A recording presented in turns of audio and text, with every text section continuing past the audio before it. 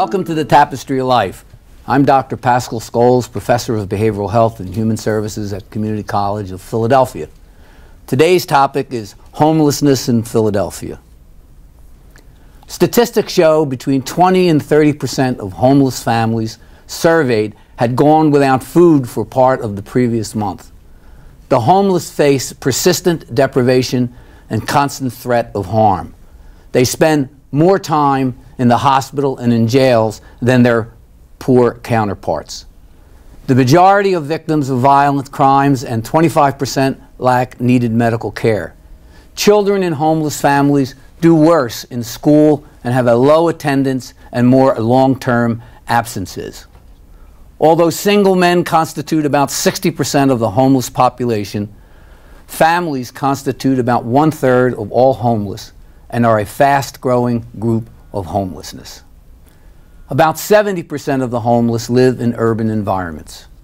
3% of the homeless people were HIV positive, compared with less than 1% of the general adult population.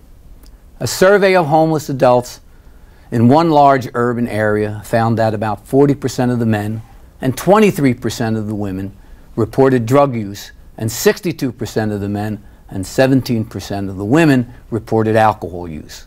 To discuss the topic today, I want to welcome my special uh, guest, Fred Way, who is the director of, uh, I guess, behavioral initiatives for the city. Special initiatives. Special for initiatives for the city. And also, I have Dave Holloman, who is responsible for the mental health side of the homeless uh, activities, and Tim Sheahan, who deals with the addiction side of the equation.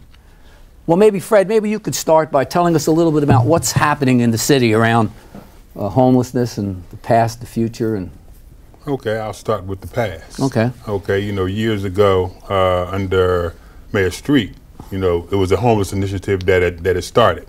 And obviously, when it went into the new mayor, Mayor Nutter, and his 10 year homelessness plan, uh, we looked at as the DBHIDS. What and DBHI is the what? Department of Behavioral Health Intellectual Disability Services. Okay. okay, it used to be mental retardation services. However, the the new word now was intellectual disability. Okay, uh, so Philadelphia is a treatment-rich city. Okay, I mean we have more than enough residential beds, and we and we've seen that moving forward, some of these programs was going to have to change, reconfigure. Okay, if they was going to be able to stay in business. So what we did was we went to a few of the programs and asked them that we wanted to shift their programs to being working with the homeless population. When we're talking about the homeless, we're talking about those who are on the street, okay, those who've been living on the street. And what we tried to do was take those programs, reconfigure them, retrain their staff, okay, to work with these individuals. And mainly those individuals, I mean, I gave that little introduction. I assume the major thrust of the reconfiguration uh, had to do with the whole issue of the large percentage of, I guess, uh, mental health problems or behavioral health challenges, as yes, we say now in the both, field. You know, and also physical health. Oh, okay. I mean, I mean so you, so actually it went into all those. Okay, and those five programs, which is I think now, is it four or five years? Uh, three three years. Okay, it's three years that they've been in existence, and you know we initially called them chronic homeless programs, but they just was renamed as Journey of Hope programs. Oh, okay. Okay, and they have been doing marvelously successful. Okay, I mean the outcome rates, you know, the retention of these guys staying in and women, uh, them being referred to permanent housing on the on, on the back end, and also being case managed. It's just they're surrounded with services that the, that the system is giving them, and and it's doing and it's doing great. Matter of fact, that we want more programs to go this way. Now, I assume because of my involvement with the city in the sense of the commission and other things I work on, that this is all a part of that overall programming of Dr. Evans, in which he made clear that he wants to move towards recovery, resilience, and transformation, and in a sense, a more strength-based approach right. to the whole right. city activities the whole person approach, the person yeah. first approach. Right. Okay, it is the individual. I'm not using the word client because we're moving know, away from yeah. that that term also. So I slip back into it every okay, once in a while. okay, it's either participant or individual. Right. Okay, and, and and I think looking at administratively, we you know we're doing great. You know, both of the entities that insure these individuals, which is BHSI, which is Behavioral Health Special Initiative for the uninsured, and then Community Behavioral Health, which is CBH for the insured, are working very close.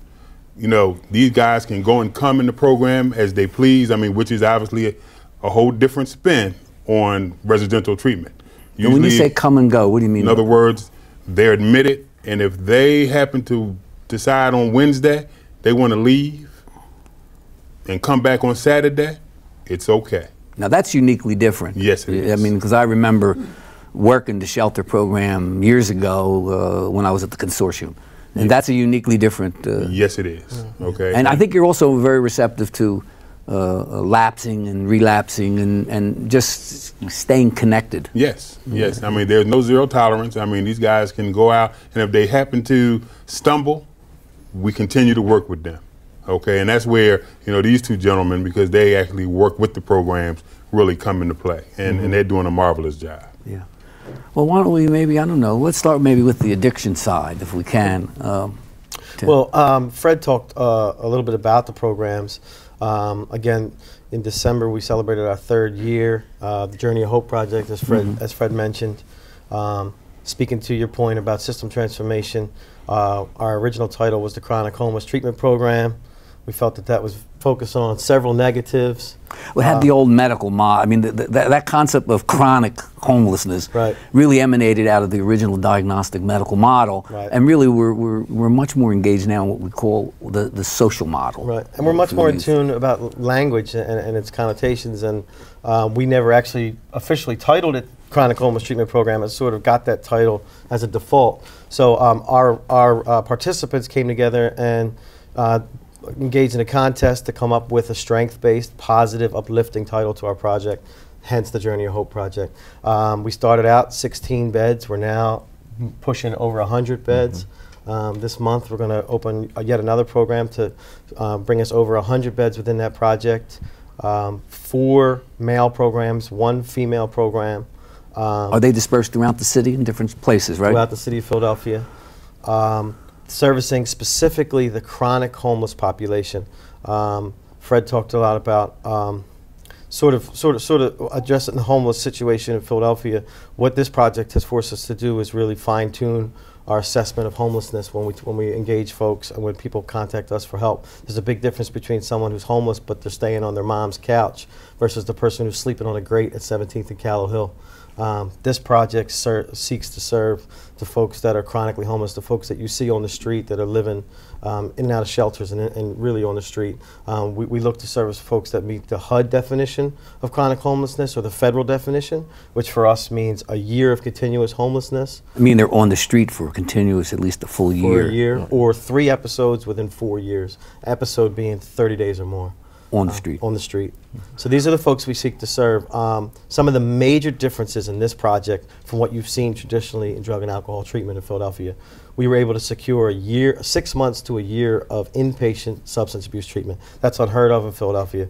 If you know anything about treatment here, um, you're lucky if you get 14 to 28 days of inpatient treatment. We Well, managed care did that to us, if I remember originally, with the managed care system. I remember when I was working it, you'd, you'd get approval for seven days, and you have to go back and get approval for another seven. Yeah. So you have somehow uh, taking the concept that there's a chronicness to it, Right. that you've been able to uh, get quite Yeah, a bit of time. And I have to say that I mean we brought to bear a lot of the research that's in the field and a lot of the evidence that's out there that again somebody who's on the street for seven years, possibly using 10 to 15 bags of heroin IV for the past five years, they're not going to get their life together in 14 days. What kind of like? Can you tell us a little bit about the demographics of the, the that population? Uh, you mentioned that some of them a large uh, history of heroin addiction. Uh, I assume a lot of coke and Uh, alcohol, and I, I assume there's all that. But what, what can you? primary primary drug of choice within our project that we see is uh, crack cocaine.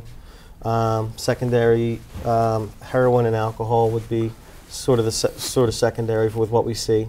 Um, generally, um, polysubstance abuse. Okay. Generally, almost everyone is, has co-occurring disorders and suffers from um, struggles with m- mental illness as well as addiction. Um, but uh, getting back to, to the length of time that we secured, I have to give I have to give credit to our partners in Philadelphia, um, Community Behavioral Health, CBH, uh, BHSI, for being willing to offer that length of time for treatment for our folks. Fred talked about the fact that if you relapse, you're not kicked out. We're finally done kicking people out for exhibiting a sign of their diagnosis. Right. So if they relapse, they're not kicked out. If you relapse eight, nine, ten times, the community starts to come together and decide whether they want you there or you know how that's affecting their recovery. I assume that there would be an intensity of the level of care then it would kick up to something else possibly if they keep relapsing. Exactly. If you want to use that word relapse, I mean, or lapsing. If they, like, Yeah, you know, the we- words, uh, yeah, we're it- trying it's to- an old medical model Yeah, word, yeah, the we're word relapse. to change that word. We're working to- on that. Yeah, I know, I know, and I and I I'm very aware that we are changing the language and the and the attitude. I mean, Right. it's a real attitudinal change Right. that's going on. But I often wonder, you know, if people constantly. I mean, what is the program if someone is constantly falling down, so to speak, and getting back up, and falling down and getting back up? Well, I mean, I mean, if I may, this project really is a, is a low demand, low structure, and we allow for that. That's Oh, sort of the that's sort of at the, the, the heart of this project.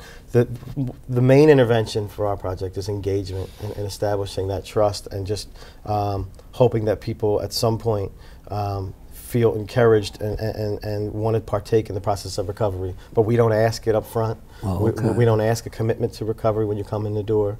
Um, as Fred mentioned, also, if you leave, you're welcome back. Matter of fact, if you leave, we go get you.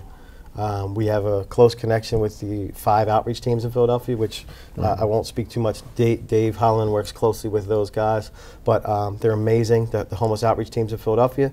We contact them when one of our uh, folks goes AWOL or AFA, and we look seek to engage them back on the street or what their hot spot might be. Um, and what would be considered hot spots in the city? What are they? Um, there are particular areas where um, either business merchants have called in and complained about someone um, panhandle, aggressively panhandling in front of their business, or their homeless encampment where people are sleeping at. Um, like Tim said, we coordinate five outreach teams, which operates 365 days a year, 24 hours a day. Um, each team is consist of two individuals, and again, they go out to various areas in the city. Um, what I must say is that most of our resources are concentrated in the center city areas for a number of reasons. Um, a number of our folks where we go out and do traditional count every quarter or encounter we encounter a large population in the center city areas um, however they're not uh, restricted to just center city they can go out to various different zones and to kind of piggyback on what tim said one of the reasons why these programs are very highly successful again with that low low demand low structure we have nine safe havens that also follows that model and what a safe haven is is different from a shelter they're smaller in size. They're anywhere from 19 to 30 individuals. These people who traditionally go into a safe haven don't usually work out in a traditional shelter sense because of maybe the behavioral health issue with the mental health, um, along with the sub- substance abuse. Safe havens, again, we don't put any individuals out if they're under the influence. We have done what we consider to have a sit up for safety reason to monitor in case they need to go into detox or whatever. But also, we have we're set up in the safe haven where we have brought in a lot of resources from the outside with partnership with BHSI and bringing in case management, um, making the safe haven more trauma informed because what we have encountered over the period of time is that many of these individuals are struggling with that trauma, which also leads to them picking up, using, relapsing again. Um, if we had to say the ideal situation is that we hit, say here, here's a blank check. Tell us what what will it take for you to be successful and again moving to that people's first system versus Yeah. someone is telling you as a drill sergeant per se in the To do military this. to do this to do well, that Well, the concept of choices is very, very Right. important, I think, in that whole strength-based model that people have choices within st- a structure, but th- there's a lot of mo- movement within uh, the, the variety of uh, activities that someone could participate in in order to get to, you know, on their path to recovery. Yes, I mean, well, that was one of Dr. Evans' main main goals is choice for the individual. You know, and that's in every phase of our treatment system. You know, no matter where it is. Yeah. You know, and it's and obviously it's working. Now, from the mental health side, Mm-hmm. I mean, uh, do you see a lot of uh, fairly uh, um, uh, people who have a lot of mental health challenges, like psychotic experiences, or what? What? What? Do, when you say mental health side, when I say you're on the mental health side, just how to get down to some of the numbers last year in outreach encountered over 5900 individuals on the street Oh, of really? philadelphia Wow. um, when you break down that data i would say 30% struggles with just mental health. Um, maybe, again, the 25 to 30 percent of uh, drug and alcohol, but you have the higher percentage in the dual category. Oh, okay. um, and again, most of this information is self-reported. However, we have done phenomenal work since 2001 where we have been able to track individuals with their mental health diagnosis, with the substance abuse, and able to um, look into various systems to see if this information that they're reporting are, are similar. Again, when you're trying to mix this population here with mental health and drug and alcohol, is you're talking about oil and water here. Um, and I think some of the programs that we have had in the past, and kind of give you a historical perspective, um, there's many programs that address just mental health. Mm-hmm. We have Housing First programs, which again is a um, Medicaid funded program, which an individual must have an Axis 1 diagnosis. Housing First programs are basically programs where individuals are placed into their own apartment and we wrap services around them, such as the psychiatrists, case managers, um, basic job development to make whatever they need to be highly successful. One of the reasons why those programs came up is because individuals were based on insurance were high users of the system. So in order to reduce that, um, we try to bring services to a person home. Yeah. Um, and going back to what Fred said, when the mayor came out with his initiative when he was first reelected, when he was first elected, um, he wanted to create 800 housing opportunities based on an eight-year term as being the city mayor. Um, 200 of them was PHA housing, um, and the majority, the other rest of them were safe havens, treatment facility beds. Most of the individuals who work in this field know that housing has to be the foundation of anyone's recovery. Um, and what we found, and when going out to meeting with clients, and I go out with outreach team once a week, a different team, because I like to hear the perspective from the clients thing, is that we don't want to go into a program, spend 14 days or 28 days, and come back out to a shelter. It's not conducive to their recovery environment. It's not helping along in their progress. So what the mayor did, again, with partnership from PHA, um, working with the programs that's collaborative with BHSI, Community Behavioral Health, we, able to, we was able to create a solid foundation upon your completion of treatment and also bringing things to it. Now, with the mental health, again, you know, when we're looking at 60% of this population here is dually diagnosed.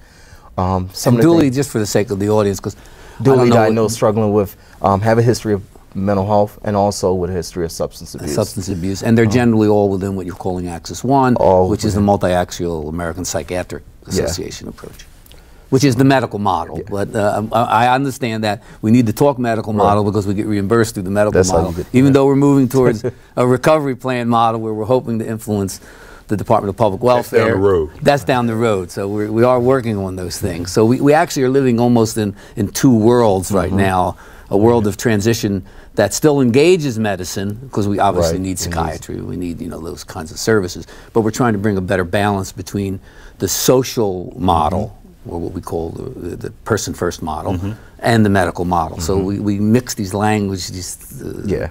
we do it all the time because we're a part of the transition in, in many mm-hmm. ways. Yeah. And one thing to highlight, and let Tim speak. Um, May 15th uh, through the 18th, Philadelphia took on what was considered to be a 100,000 home national campaign.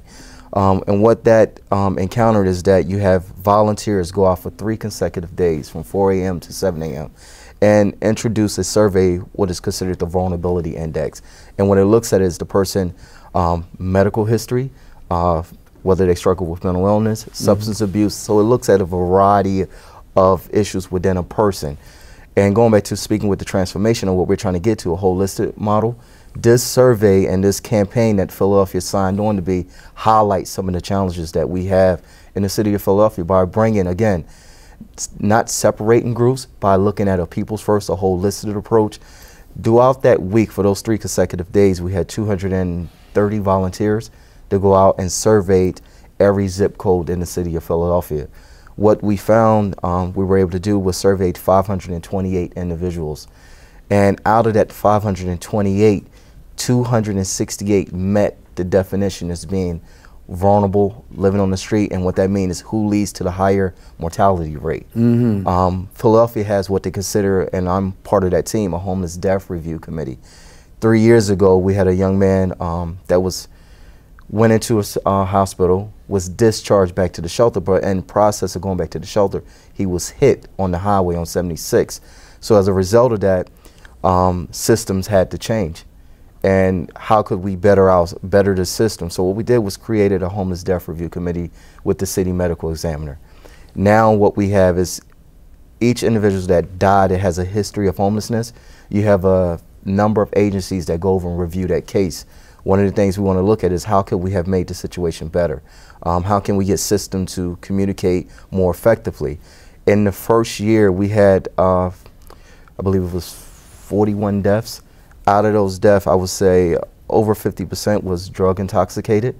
Um, so drug again, overdose. Drug overdose. Yeah, okay. um, whether that was heroin, alcohol addiction, and so we're again looking at the system. Is one thing that is helpful again these chronic homeless rehabs to address some of these issues, but there are plans in place to transform the system. Um, we're in the entry level of the stage, but we're we're breaking grounds into new levels. I assume everyone who's involved in the homeless, the movement, the shelter movement, uh, uh, must be engaged for a significant amount of time in some kind of outpatient program besides the shelter. Is that true? No?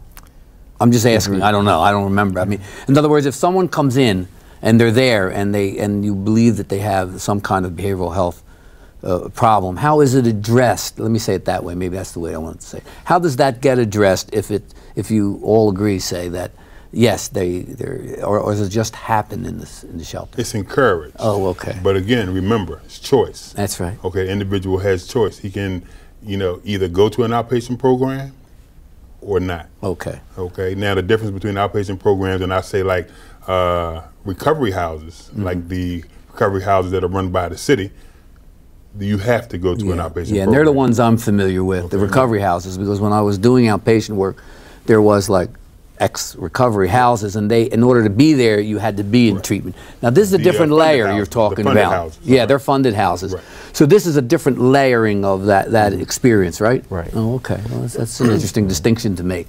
There's also different places where the homeless would hit, if you will, uh, coming off the street. There, Dave talked about the nine safe havens that are run by DBH. Mm-hmm. Um, Department of Behavioral Health. Uh, there's also the shelter system that you're referring to through Office of Supported Housing. Okay. Um, and there's I don't know the exact number of shelters these days, but um, the, the, you know a lot of our folks are in those shelters as well. Um, both in the DBH safe havens and in the shelter system, there's behavioral health specialists, be it case management units, uh, be it assessors, um, that, that try to identify those needs and plug people into to the appropriate level of care, um, be it reaching out to CBH and BHSI, getting folks down to crisis response centers when that's, when that's appropriate, getting folks to detox programs and assessment centers, behavioral health assessment centers, um, to sort of plug them into to that. So, but there's also a number of folks that are, that are just homeless, right. where they're not struggling with behavioral health needs. Um, and we, we see right. they're just homeless for just homeless, you know yeah. unemployment reasons or for a number. I mean, I think Tim spoke early. You know, the difference between homeless of Bill, who's at home on mom's couch, mm-hmm. okay, and Jim, who was on the grate. That's the difference, okay, of, of him being able to get around and get services where you know Jim on the grate can't. Yeah. Okay, he's just going from day to day. Yeah. Well, it's interesting to me because I, I originally came out of the the treatment right. system, as you know, before I was teaching here. That's what I did, and and I, I didn't realize, you know, it, all these shows are kind of enlightening to me too, in the sense of hearing the stories of people. Is I didn't realize that there's a distinction between recovery houses and homeless shelter. I actually thought they were all hmm. kind of. Tied somewhat together. Well, I don't know, didn't know exactly how they were tied together, but what you're saying is that this they're not tied at all together. That they they have almost a totally different feel to them a and how they work. Direction. And a totally different direction. Well, that's important to know. And for somebody who's not struggling with mental health or substance abuse, because there is a fair number of people that struggle with just being homeless, like Fred said, the city do have an initiative, what is it's called rapid housing prevention okay. money. Um, and what it does is provide a $2,500 stipend um, for an individual who may work but don't have the money for first and last month rent. Oh, okay. They can go um, work with intake shelters and go in and get a, and apply for a $2,500 stipend that goes towards that first and last month rent. Again, we do know that there is a number of people that resides in the shelter but just don't have the economic means to go out and afford. I believe marketplace value rent now is $782. When you look at a large number of individuals who occupy the shelter, their income again against is DPW, which is $205 a month, or SSI, which is $621 a month, which you see the significant difference where they still won't be able to afford Mhm. that that type of facility. In addition to that, um, Shelter also is involved in what is considered the Blueprint Project. Is again, it's a partnership with Philadelphia Housing Authority, and you have case managers and you have service providers that are working with these individuals to identify their needs, whether they will be a good fit for the Blueprint Project, and also provide again that upfront stipend. So I think um, the mayor has done a phenomenal job again with the President Obama stimulus money because that's how Philadelphia received that housing prevention money. okay. It's a three-year program, um, and again, it provides twenty-five hundred dollars to an household, um, whether that be a single household or a family household. But they shelter has done phenomenal, and I believe placing over three or four hundred families out of the shelter since this initiative have started into conv- conventional units. So there's some things that are happening out here for individuals. If you're struggling with homelessness and don't fall into that category of having mental illness or substance abuse, because the resources there are a little bit more open um, for individuals who are struggling with that addiction. But if you're someone who just happened to fall on bad time due to economic crisis, there are resources that the city have.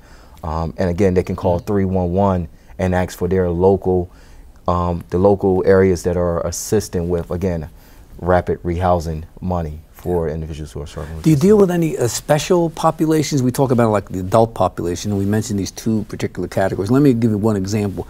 There's a facility, I think it's in California, called Larkin Street. I don't know if you're familiar with it. It's a youth homeless shelter for LGBT.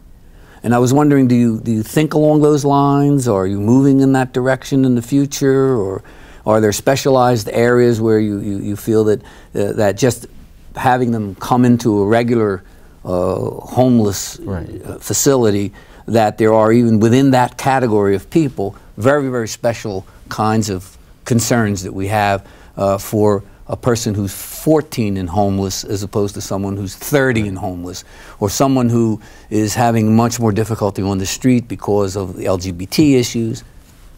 LGBT, uh, you know, uh, lesbian, gay, bisexual, transgender, for those people who might not in the Thank you. audience know that. Thank you for that. Because sometimes the lettering gets a little, uh, little uh, confused. Although we did do a show on one of those, but it still gets confusing.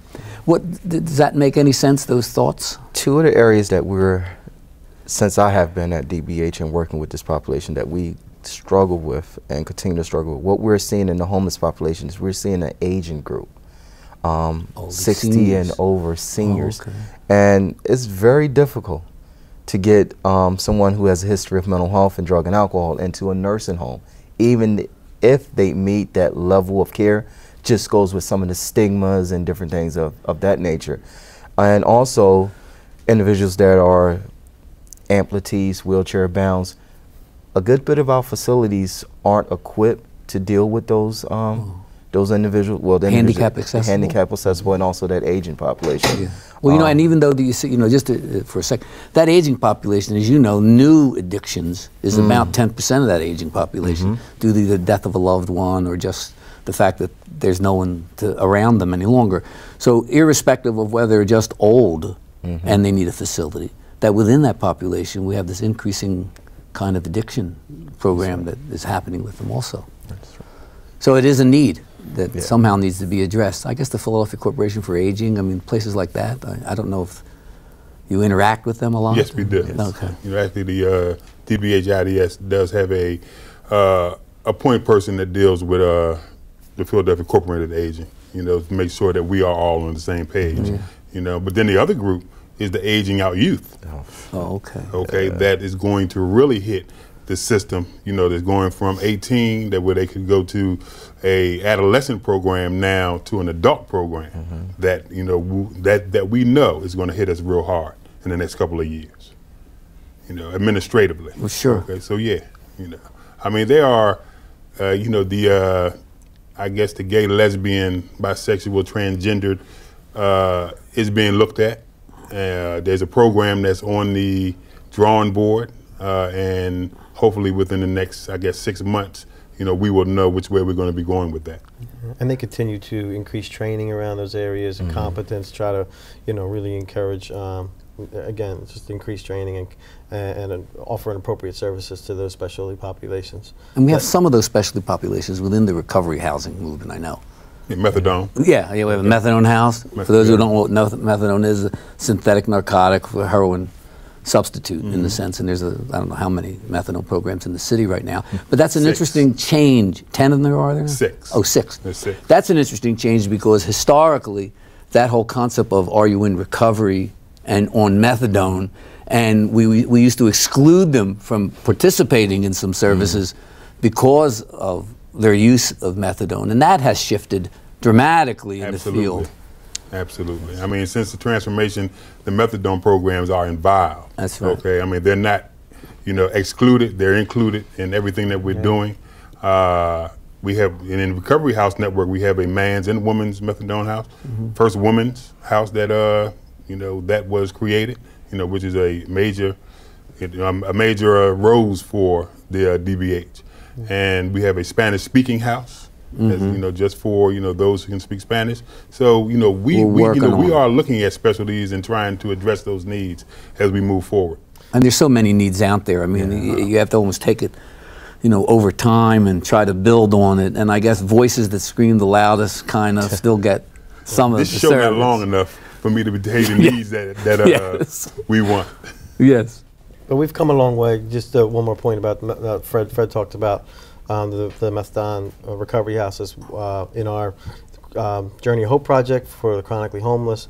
They obviously um, accept folks on methadone. So within each program, we have several folks on methadone who Which is actually a dramatic change if you go back 10 years or 12 years in the sense of the transformation stuff. That's significant. And it's a big support. a- Again, I go back to our partnerships with the funding sources, CBH, BHSI, because they allow us to have individuals who are in this residential treatment program, which is essentially a drug-free, not administering uh, programs that do not administer methadone maintenance, uh, methadone, and then still allowing them to attend a methadone maintenance outpatient program as a support to the recovery. So, um, And there are actually a lot of support groups now for methadone, yeah. Yeah. which was, you know, mo- modeled after the self-help Yes. kind of movement. Yeah. Yeah. So we're moving we're moving away from if you're on methadone, you have to be in this separate unit in this separate floor. Um, they're very much a part of our project. Could you give me a typical day of what, what happens? I mean, um, uh, are you, uh, uh, as workers, are you out there in the middle of the night or uh, what, what, uh, what are the kind of real crisis kind of situations that you really run into? Dave is, and then he drags me out. Oh, there Dave, once in a does- while. Dave's on the street He more than you are? Yeah, Uh, Dave. I'm not. You're not, Fred. Well, you're the administrator. That's why. To give you an idea of what our usual outreach work, outreach workers do, um, again, they are we move to a zone-based um, philosophy, and one of the reasons why we move to a zone-based philosophy is one to develop to develop a rapid rapport with the merchants and local vendors, but also to strengthen their relationship in that local community or whatever their zone is. Um, one of the things that we have noticed is that when you move to a zone-based philosophy, you're able to encounter some of the same folks. Um, people always ask that question, well, why don't these people move in when you come out and engage them? If we had the answer to that, uh, everyone would be in. Um, usually, outreach workers, again, they go out, engage that person again around housing, whether they have medical needs, uh, whether they want to go in for treatment, or just want to have a conversation with someone. Um, typically, outreach develops what is considered a focus list. Um, right now, I have a list of 250. And the five teams, again, coordinated through Project Homes, are the Mental Health Association, Horizon House, Self, and Horizon House actually have two teams, which is our one of our overnight teams. The only team that's out there overnight. And what usually happens is that once we develop this relationship and develop a need-based assessment on what that person need is, whether it's um, immediate housing, ID, um, going to local areas to get food, we meet once a month. Um, I meet with the outreach directors, their supervisors. They come in once a month, and we go over these list of 250 names, lit name by name, going over what their needs are, um, how can we better assist them. The type of calls that outreach uh, receives at time can be anywhere from domestic abuse, um, someone just being just getting put out of a shelter. Um, we work closely with law enforcement, so when law enforcement encounters a homeless person on the street, whether it be a teen, um, a mother and child, or a father, outreach is called there to assist and uh, the immediate need, whether it's housing. Uh, but a typical day again is we have no boundaries. Outreach is, you, it's in a sense, is a social worker, caseworker, their mother, father, sister, brother. So they they do whatever it takes to get that person in to make sure that person is safe. Now the services look a little bit differently during cold winter. I mean cold cold red and cold blues because the city has deemed that is not safe for individuals to be out. So we strongly encourage that person to go in now. It sometimes can be challenging when you're dealing with someone who's struggling with mental illness because that capacity to understand the safety and due to the weather, that person may not want to um, come in. So we have a few measures in place as, again, involuntary commitment or a COT procedure, which is a court order transfer to shelter to get that person in off the street. Um, so far, we have had five code reds so far, and that's usually 90, 90, 90 degrees or plus. The city um, declares that the city is a code red, and that means the shelters, even if a person is what we consider to be protocol, protocol can come about from a number of things, whether a person's not paying shelter fees, whether they're abusive towards a peers or a staff person in the shelter. Mm-hmm. Shelter usually gives them 120 days walk off. Um, however, in most cases, they are able to meet with an administrator or supervisor to rectify that. But doing code red or code blues, um, protocols are not in place because, again, the, the issue is to get that person in safe and sound. safe. And sound. It sounds like a little bit of what you do is a kind of an adjunct kind of part of the Philadelphia Police Department in the sense of mm-hmm. the support, as well as some of the old crisis mm-hmm. workers that used to be moving around the city uh, a lot at one point in time. I'm wondering what, what, kind of who makes up the um, outreach workers? I mean, I assume some of them are certified peer specialists and things like that. But the team, who who is the team that goes out? We have um, retired police officers. Oh, okay. That's on the team. Right. We have individuals that are in recovery that wants to reach back out, formerly homeless individuals. Some people that have um, worked years in their yeah. professional field and decide to come over and say, "Hey, I want to do something to help the public." And one of the one of the ways they reach back out is to work as an outreach workers. Yeah. Sometimes we have volunteer workers. We're open to everyone, anyone that's willing to come out, um, wear comfortable shoes, engage and talk to someone. You're welcome to come in, volunteer as outreach worker. But we do have to pay positions again that come from a variety of backgrounds. Again, um, I would say about 10 to 15 percent are formerly homeless individuals that have okay. lived in their own apartment now and want to reach back out because someone has helped them to get into their level of stability. Kind of recovery homeless yeah. people, right? Mm-hmm. Like I, I, must say to Tim's credit, though, Pat, that early on, you know, Tim was out there, you know, with the outreach mm-hmm. teams. Okay, I mean, early on, you know, just to see how this whole direction was going for us, you know, we we, we did go out, and uh, he spent time out there. You know, we we have done the homeless count, you know, mm-hmm. which is the count from 12 at night to Eight. 5 in the morning. Okay, so so yeah, I mean, now I might not get out as much as I used to, hmm. but you know, I did touch the streets at, at one time. We, I mean, and you know, we joke around. Dave still gets. Uh, we enjoy doing it. Um, right. I, I, honestly enjoy doing it. We did the 100K Homes event. Um, I think uh, it's important for folks. We have our project we encourage the Journey of Hope Project and the staff and the directors to get out there and do homeless outreach, to get in touch with um, what's going on on the street, what the people, what, folks' needs are, what we're seeing. You, you know, you asked earlier, what, what are we seeing? What are people using? Um, all those sorts of uh, details of what we try to get in touch with. What are people struggling with out there? What are their needs? What are they complaining about? What are the sites they're staying away from? Why aren't they going to the shelters? Why aren't they going to safe havens? You know, you really get a feel for, for what's going on out there. Um, but to your question, you know, as Dave said, they try to make the teams now. I, I think in 2011, they've really come a long way in terms of trying to make the teams as multidisciplinary as possible. So Dave talked about um, ex-police officers, folks who used to be homeless. We have representatives from Office of Addiction Services, as Fred mentioned, myself and other folks who went mm-hmm. out to assist with, with those resources. Uh, individuals from the mental health mm-hmm. system, individuals um, who work with veterans. Um, and I think they really try to yeah. tap those different um, sort of sort of resources in the city to, to assist with the outreach process to get people in. And what we've seen over the past few years is, uh, I can definitely say that if you rewind five years ago, um, thing, uh, the, the different systems were in, in sort of silos. Um, so the, the outreach workers and the homeless system knew a lot about homeless resources, but they maybe didn't know a lot about behavioral health, drug and alcohol resources, mental health. Mental health, D&A, same thing. They might have known a lot about their own resources and getting treatment and whatnot, but didn't know a, a lot about the uh, the homeless world and, and those resources. Now we do a lot more cross training. We work a lot more closely to get together and collaborate and partner, and um, it's really helped in terms of accessing resources for folks on the street. So now, when we're meeting folks on the street and we're engaging them, we're, we, we, we really all have a better knowledge of what's out there to assist them. Uh, and, and that's really a change that I've seen through the system transformation in the past five years. Yeah. And I assume the most uh, dangerous part of the job is probably the 12 to 8 shift, midnight to 8 in the morning. Yeah. Well, And, and ironically, it's the best time to engage folks. Yeah. That's when Oh, you catch- really? that's Yeah. when they're out there. That's when they're the you know you asked about hotspots. Hotspots are generally the area that they frequent, where you'll. Dave talked about Mm-hmm. the focus list, so it's where you'll find John Smith. We know that John Smith will be under the uh, concourse yeah. at 12th and, um, Right. and, and Market or whatnot. Um, it's where they'll be at their spot, um, and we're able to engage them. And, and, it's- and the 100K Homes event that Dave talked about did a great job of not only uh, interviewing people, but taking their picture for multiple reasons to be able to find them when we have something to offer them.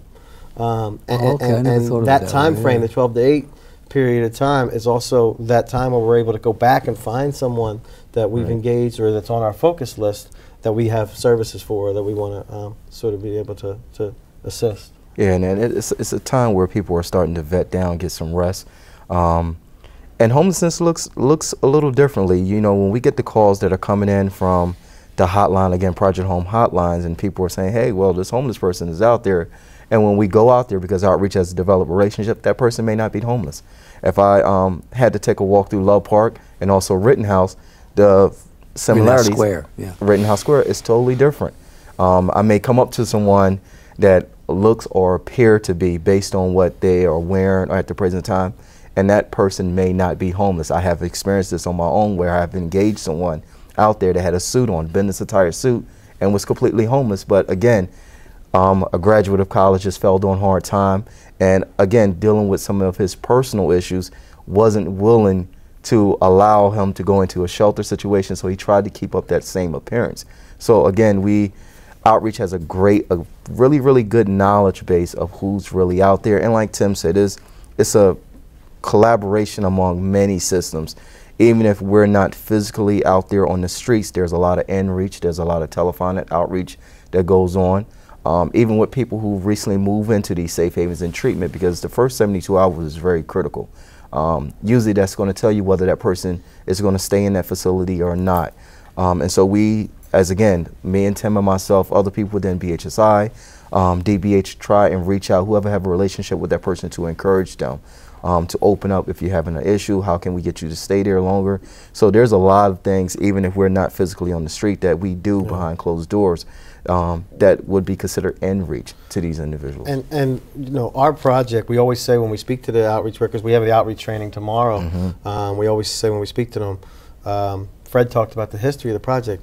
Literally, the, our project, the Journey of Hope project, was developed and created in, uh, to address the needs of outreach uh, and to uh, immediately uh, um, you know, uh, immediately assist the outreach workers. It's in direct response to their feedback to us that historically it's been difficult to get people into substance abuse treatment. And we turned that around through this project. So we went from what we were told uh, individuals when they when they're reaching out to get detox or inpatient substance abuse treatment, oftentimes they need to wait days or weeks.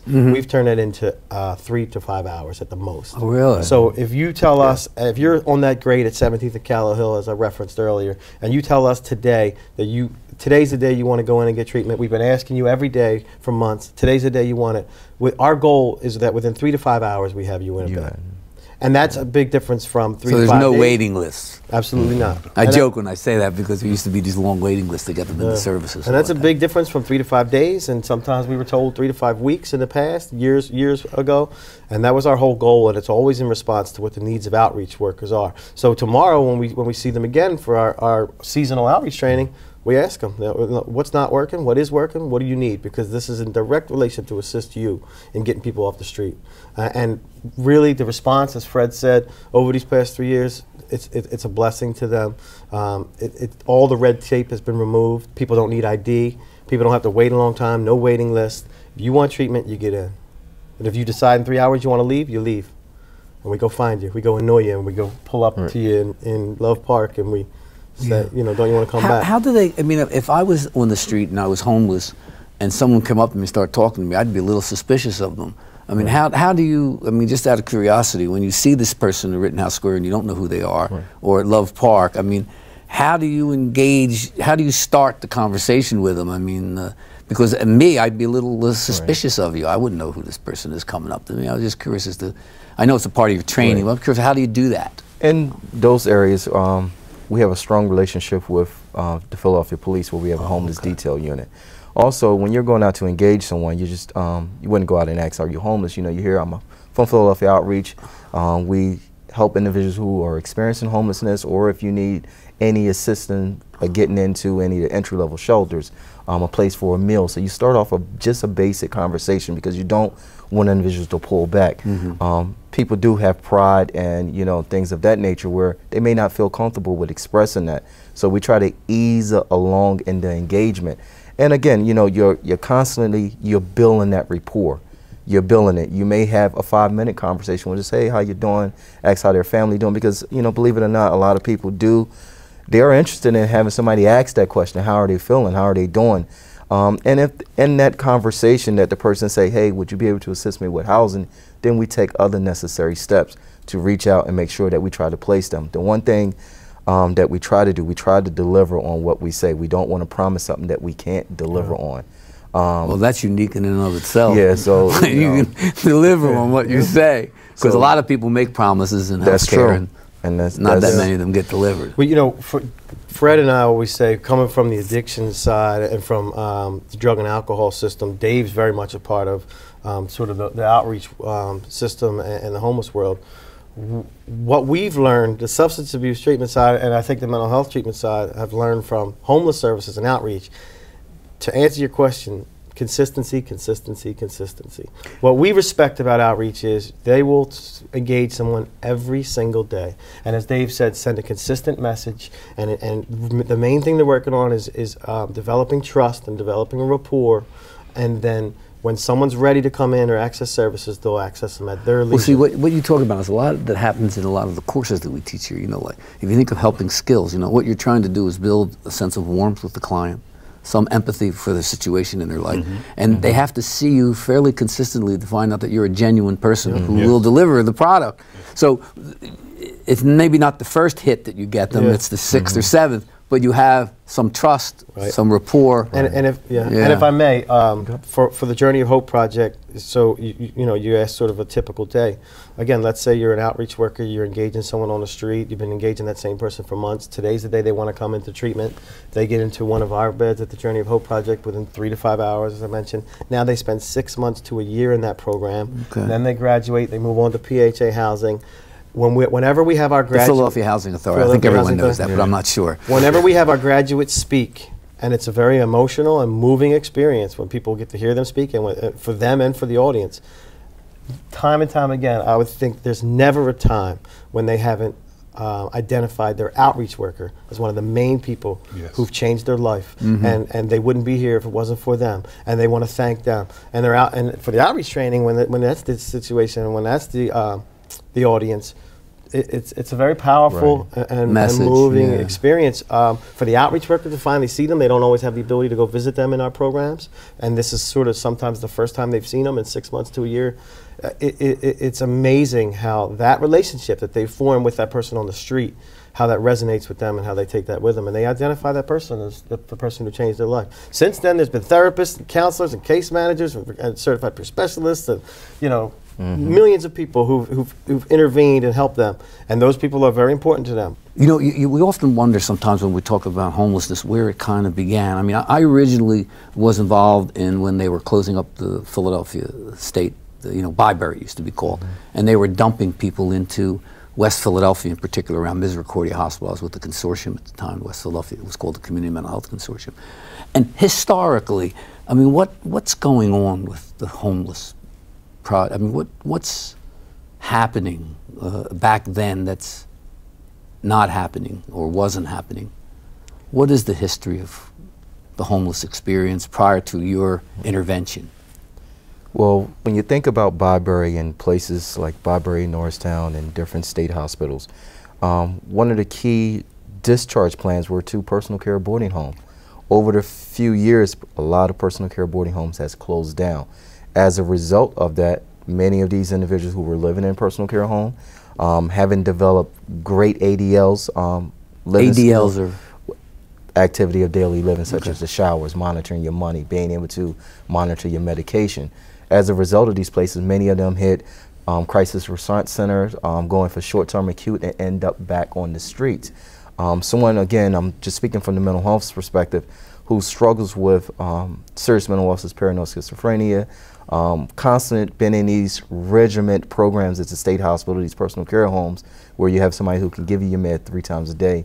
Now, when you go into a shelter and you don't have that same structure, you struggle with that. And what usually happens is that you end up back on, On the street streets, constantly. on these grapes. And someone who's struggling with um, addiction, and Tim probably can speak to this.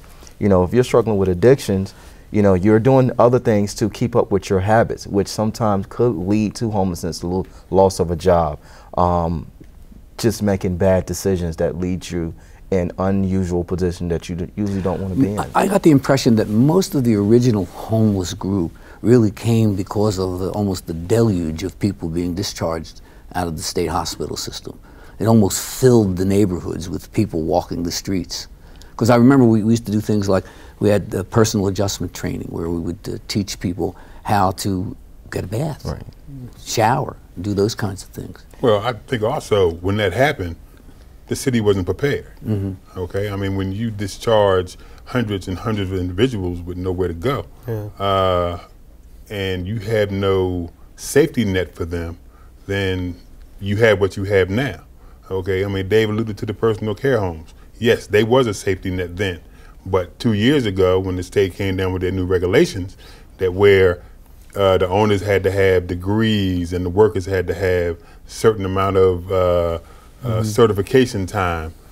You closed the mom and pop personal care homes. I mean, they had to shut down because they could no Couldn't longer comply with the regulations? afford to run them. Right, and so then that group now is on the street.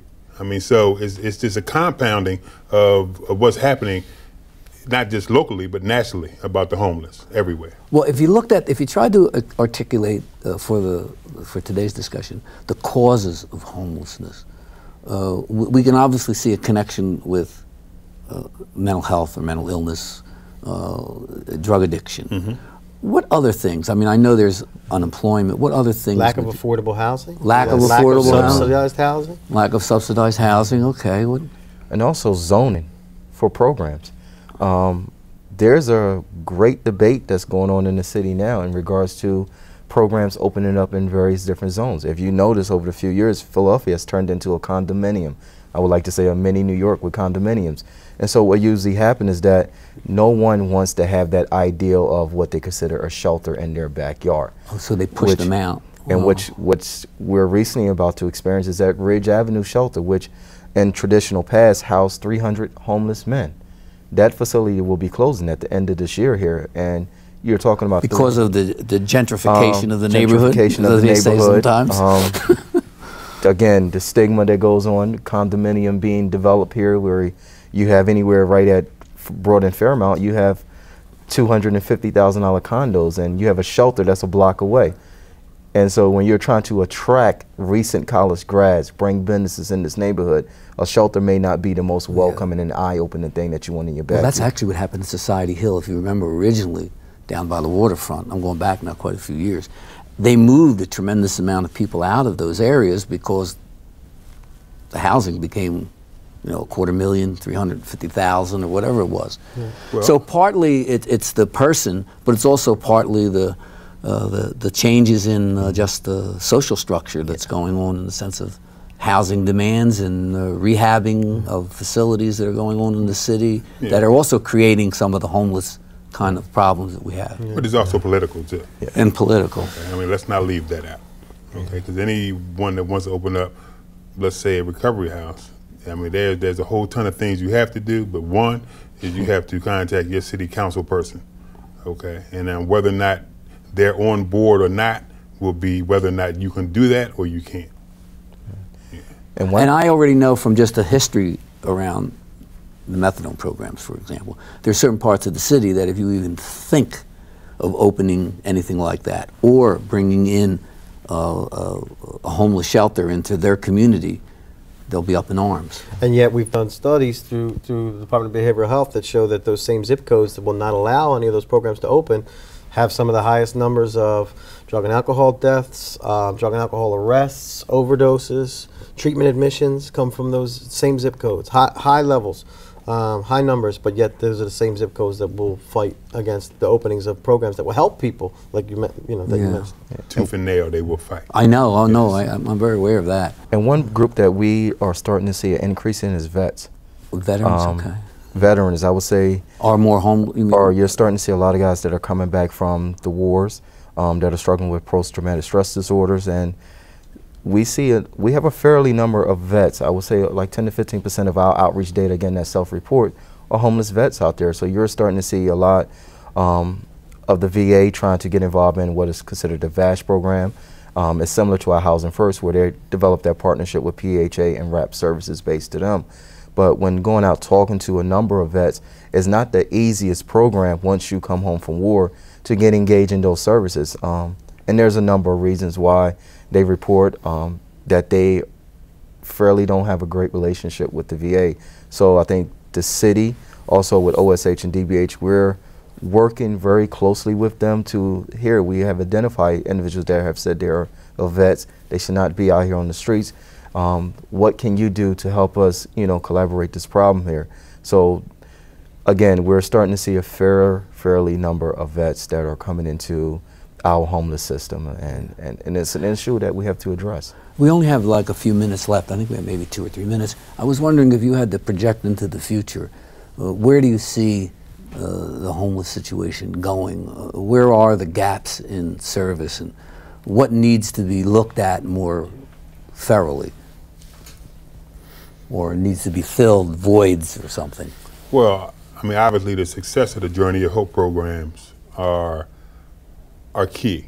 Okay, I mean, you know, we see that it works, and and we want to expand them. Okay, does that mean that we're going to reduce, you know, more residential beds in the city in order to make or put more of these programs, you know, up and and and working? Then, as as one of the administrators, I would say yes. Okay. I think over the last few years, we have seen a decrease in homelessness on our street, 2005 being the highest of um, number of folks that we see out here. So we have seen some decrease. The thing that's going to help us even more is that we continue that relationship with PHA and to create housing opportunity. Okay. I would say the, the creation of more housing opportunities for our individuals, uh, more of a focus on um, other areas of the city of Philadelphia that have homeless, high high numbers of homeless folks that, that we sort of historically have not focused on that we that we need to really look at. Some of that data that became evident through the 100K homes outreach. There, there- there's other areas that we need to sort of um, address uh, with services. Well, I want to thank all of you. It was a very interesting conversation, and uh, I hope it sheds some light on the current status of homelessness and hopefully uh, a positive direction that we'll be going in. So I want to thank all of you for your time today. Thank you. Thank you. Well, that's all we have to uh, talk about today in the sense of the tapestry of life. I want to thank my guests for joining me today and thank you for watching. I'm Dr. Pascal Scoles. For more information about the Department of Behavioral Health and Human Services at Community College of Philadelphia, please contact the college. Thank you.